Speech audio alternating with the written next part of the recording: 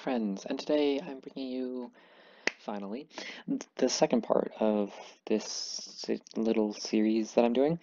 And today I'm doing it on the IS-5. Last time it was the IS-6, the original, um, and not the best, debatably.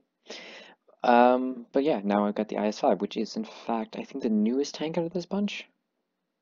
Yeah, because this was before this. So yeah, it is the newest tank newest Soviet Tier 8 premium heavy tank. Yeah. Alright, first off, 20, 2035 DPM. It's got the same D25TA as the IS-2SH.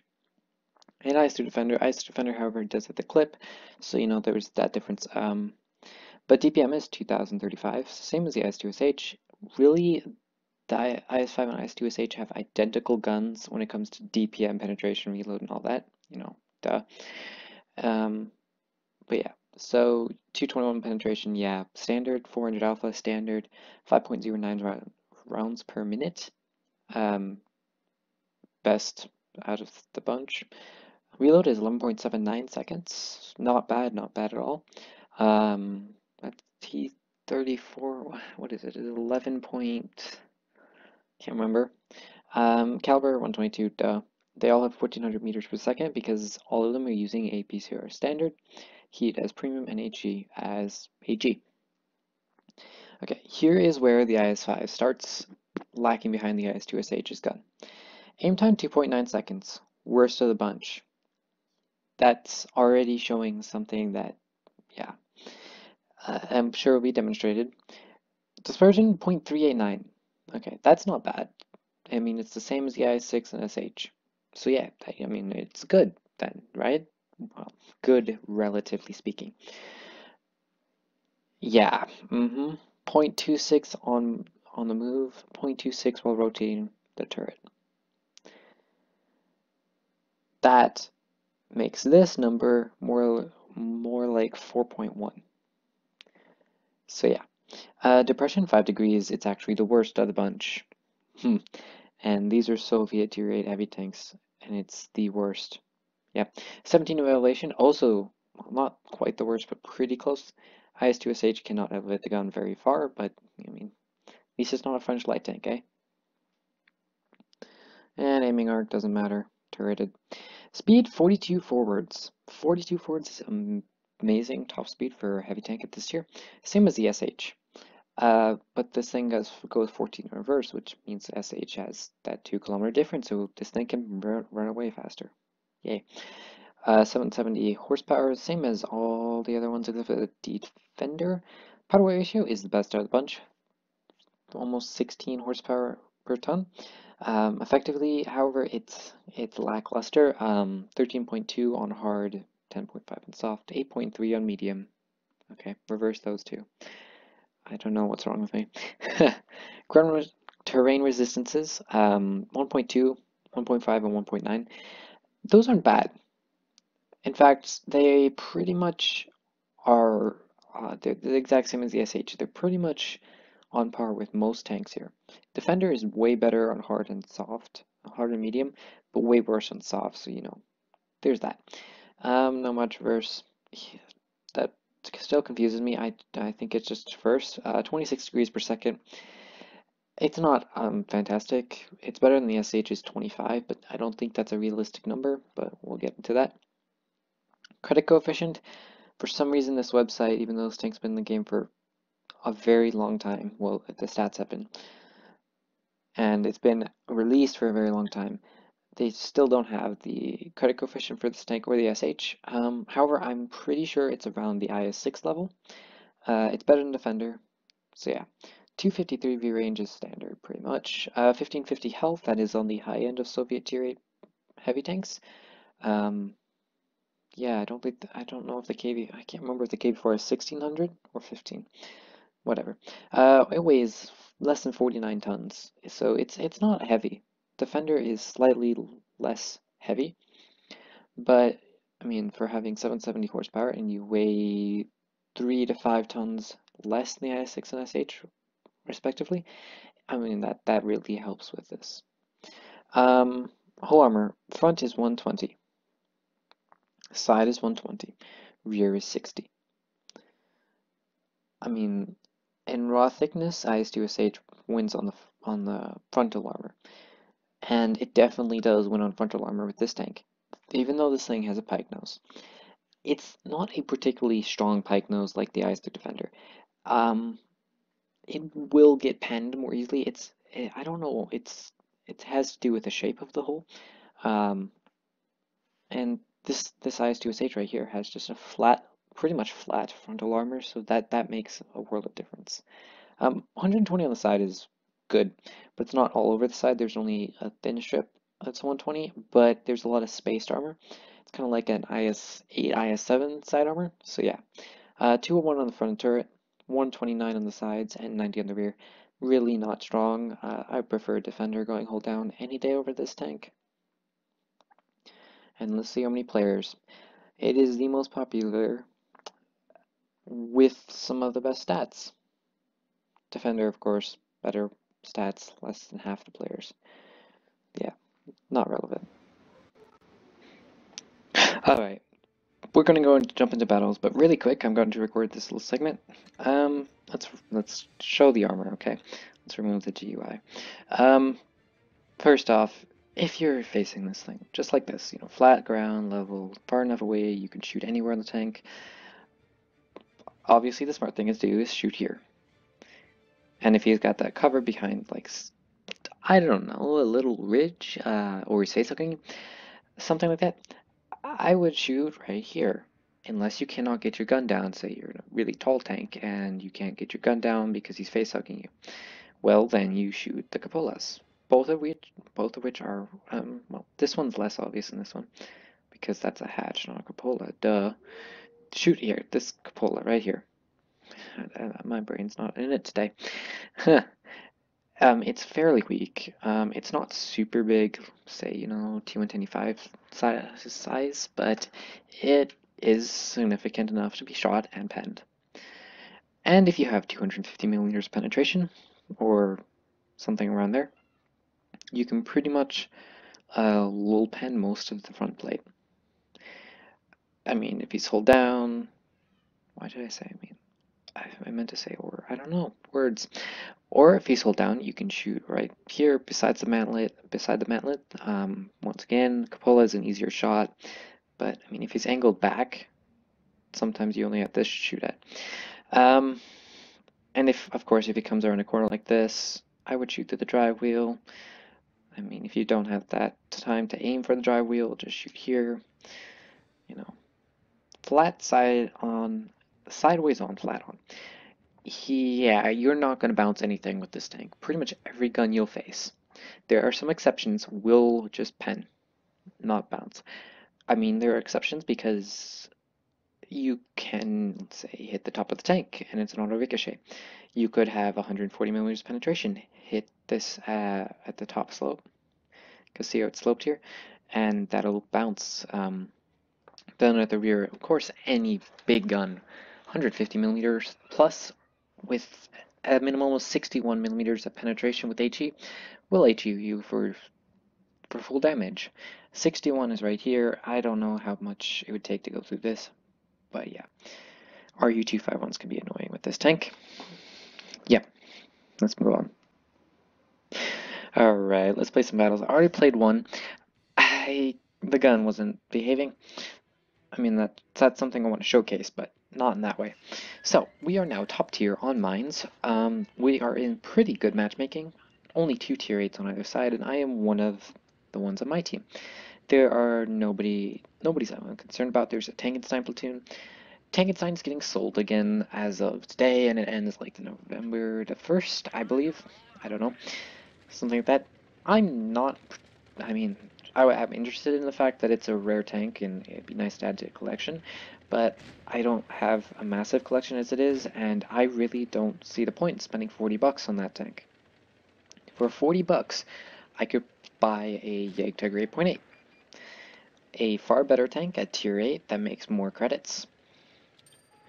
For 40 bucks, I could buy myself a T54 Mod 1 and have $10 left over. A much better tank a tier higher that makes more credits. Speaking of 8.8, Unfortunately, the Helsing gun is annoying.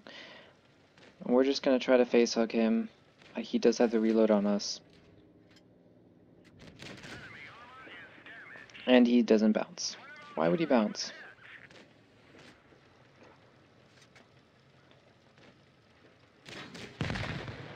Okay, he actually bounced his final shots into me.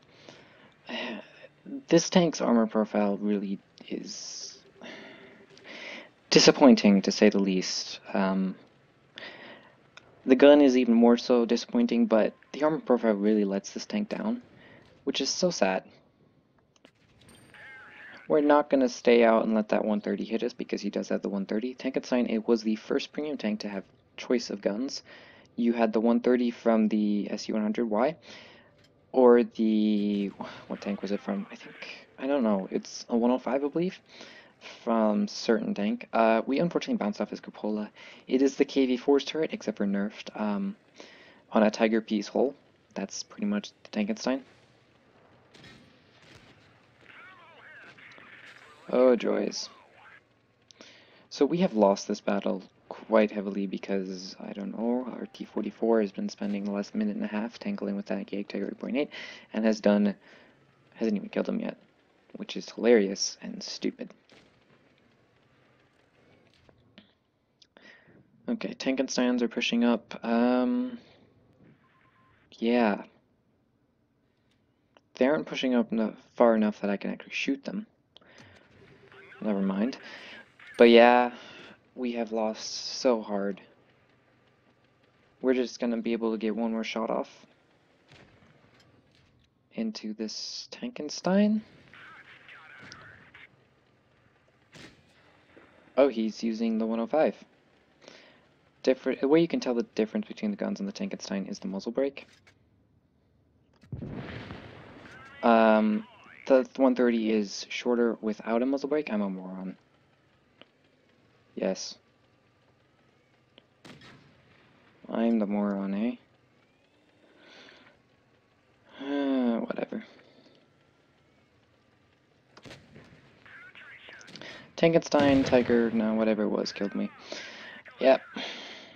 I mean, there wasn't a whole lot I could do in that situation. Maybe if I was full health, I would uh, try it, but we did 2800 damage. Okay, 2736, okay. The rest of my team did exactly 3,033 more damage.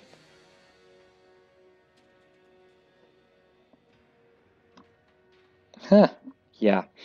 So, that was a very miserable defeat. So, yeah, let's try to move on. I could probably be having better luck playing.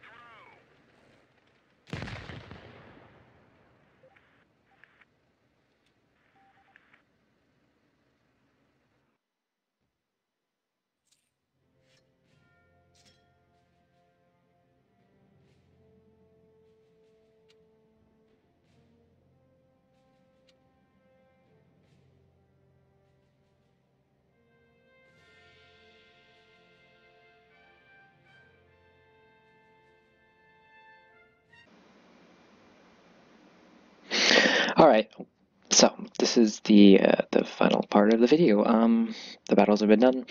Um, here, here's just something fun. The first time I recorded this, my mic muted itself. Which was incredibly awkward because I almost edited the video together with that. Good thing they were the last clips. Anyways, um, what to say about the S5? It's relatively cheap um, in price of real world money.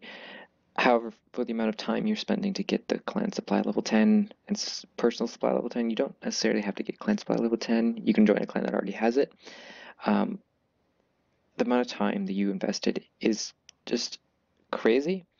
Um, let's see, I don't quite remember what the clan supply is. Um, I, this 330 million for 10. So that, yeah, okay, 1.2 for personal. I think that's one. You're talking about, excuse me. You're talking about a good 5 million XP. Let's just say it's around that. It's probably not, but I'll just say it anyways. Um, the amount of time it would take you to get that is a lot, a long time, okay? Um, depending on how much you play, it would take several months. Um, and yeah, I don't know if that's exactly worth it to spend several months getting this tank or unlocking this tank. Um, especially since the fact that it really doesn't have any outstanding qualities. Um, it is fast, or uh, fastest out of the bunch of Soviet tier 8s premium heavies. Um, but its gun really lets it down. That 10% worse accuracy, roughly, um, and the worse accuracy on well, not 10, it's not worse accurate, less accurate. It's the aim time, and then the accuracy on the move make it so bad. It's it's just so painful to use. Um, armor really isn't good on it. You can bounce, you can angle your side so you can bounce. Sure, you'll get troll bounces off here you can bounce the turret, but you got the weak spot there and there and there and not there, I don't think. Don't think that should be modeled, it might. And then you can get HE'd in the rear, which is something uh, the defender can't get.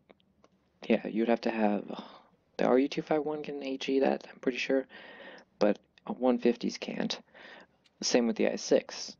So you got that problem to worry about. Um, just today I HE'd one of these things for 1300. This actually recorded two days after I finished recording this video. It's all confusing. Um, but yeah, it's...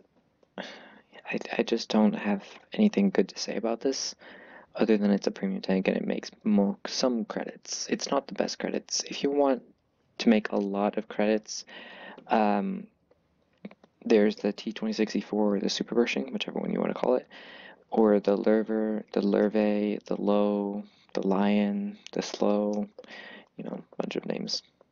That's all pronunciation and how, how what you really want to call it. Those two are readily available. They make more credits in this thing. Um, the Lurver has an excellent gun. Uh, Super Pershing has a decent gun and it's a medium tank and its DPM is quite good so yeah, there's there's those other options. This thing is really irrelevant. I would just pick an IS-6 over it, which is pretty much what I do. And then over the IS-6, I'd pick an SH. And over the SH, I'd pick an IS-3 Defender. And over the Defender, I'd pick a Defender. Because I ran out of premiums. um, so yeah, that's my two cents about this tank. It's it was so hyped and it really kind of lets it down. So I hope you all enjoyed this video. If you did and would like to show that you did, please don't forget to hit that like button down below. Uh, subscribe if you're new and comment on how much you hate this series and hate the fact that I'm dissing Soviet tier 8 tanks. And with all being said, don't know if this is you. Have fun, stay safe, and bye.